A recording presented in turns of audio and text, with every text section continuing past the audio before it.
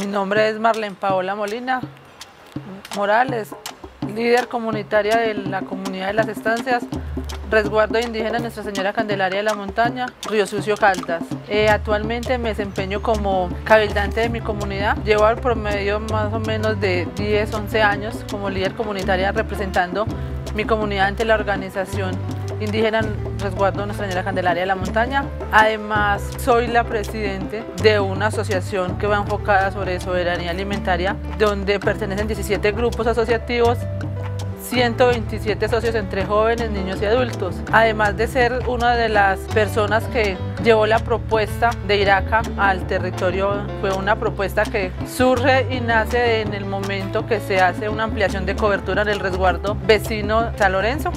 Es un proyecto que llega a nuestra comunidad, a nuestro territorio, para formar parte de no solo un, un valor agregado a nuestras familias, sino un valor integral, un valor comunitario que nos fortalece como organización, que nos lleve como tal a que somos nosotros quien debemos empoderarnos de nuestros procesos, ¿cierto? Irak ha sido como un, un equipo más para darle como ese empuje, ese valor agregado a nuestras comunidades, ya que son ellas las que manejan nuestras huertas caseras, la cría de cerdos, el manejo de aves de corral, nos llevó a que, que se siga sosteniendo, o sea, que el proyecto sea autosostenible, porque no, no es justo o no es viable que, que sean unos proyectos tan buenos y que el proyecto se quede ahí, ¿cierto? Aparte de que los proyectos comunitarios que llegan nos lleva a formar una asociatividad, a trabajar colectivamente, a que en nuestras comunidades se formen nuestros fondos rotatorios. ¿Qué se usa con esos fondos rotatorios? Que el mismo grupo tenga un capital moneda donde de determinada familia quiera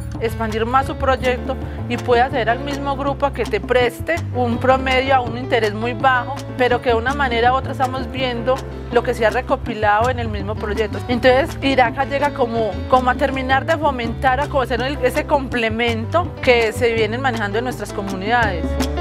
Más cercana a los colombianos. Prosperidad social.